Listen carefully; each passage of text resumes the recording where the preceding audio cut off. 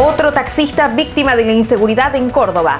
Lo abordaron dos ladrones, lo hicieron meterse en el baúl y escaparon a toda velocidad en medio de una persecución policial que no dejó detenidos. En instantes, el desarrollo completo, aquí en Darte Noticias.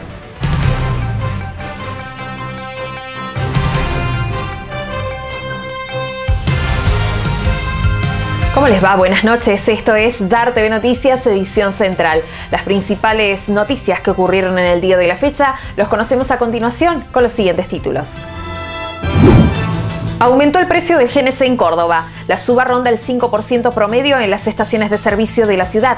Ya se consigue a 125 pesos y hasta 127 pesos no logran capturar al ciervo del aeropuerto. La extensión del predio sería uno de los motivos de la demora para atraparlo.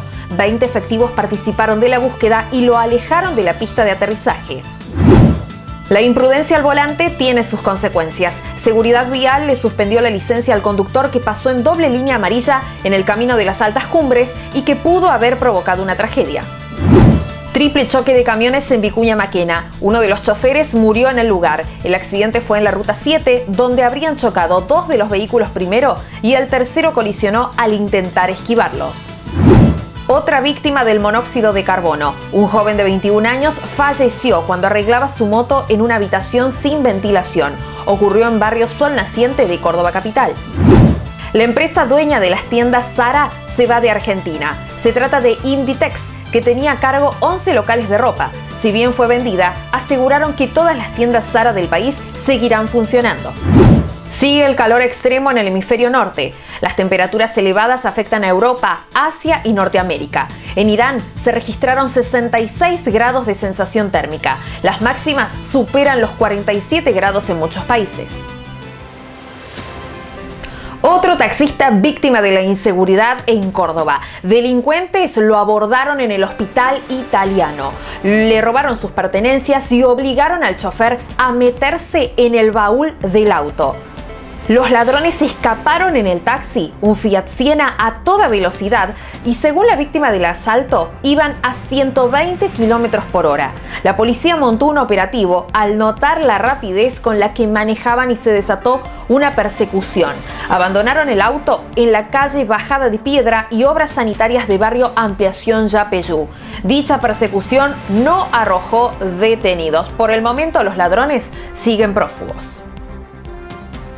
Poco más de 223 mil pesos necesitó una familia para no ser pobre durante el mes de junio. Los datos corresponden a lo anunciado durante este miércoles por el INDEC. El costo de los productos que integran la canasta aumentó un 5,2% en junio. Así, un grupo familiar de dos adultos y dos menores necesitó 104.227 pesos para no caer en la indigencia. El mismo grupo tuvo que contar con ingresos por 232.426 pesos para no caer debajo de la línea de la pobreza.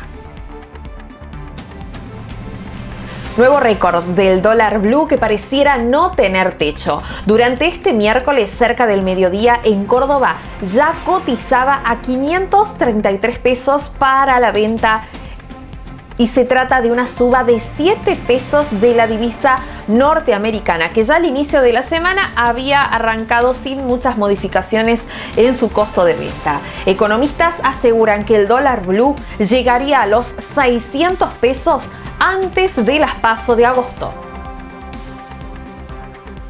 Nos vamos a Buenos Aires, donde hubo un intento de golpe comando en el Banco Provincia de La Plata. Allí ingresaron rápidamente cuatro ladrones fuertemente armados, quienes intentaron llevar a cabo el robo dentro de la sucursal, cuando había clientes en el lugar. La escena generó conmoción y terror entre los presentes. Al parecer, los ladrones escaparon a toda velocidad cuando vieron llegar a la policía. Los investigadores están trabajando, recabando información para con el paradero de los delincuentes.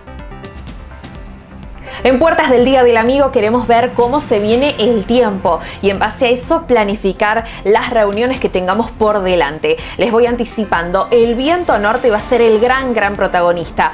Si bien a la sombra se va a sentir fresco, el solcito con el vientito van a ser una linda combinación y hablamos de un paulatino ascenso de la temperatura para Córdoba de cara a mañana jueves y al viernes también. Conocemos juntos cómo se viene el pronóstico para las próximas horas.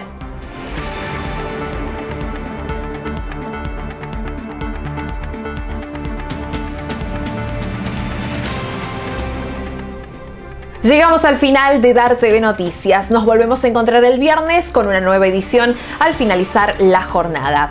Nos pueden seguir en todas nuestras redes sociales bajo el mismo nombre y también en nuestro sitio dartvnoticias.com.ar. Excelente final del día para ustedes, muy feliz día del amigo y gracias como siempre por elegirnos.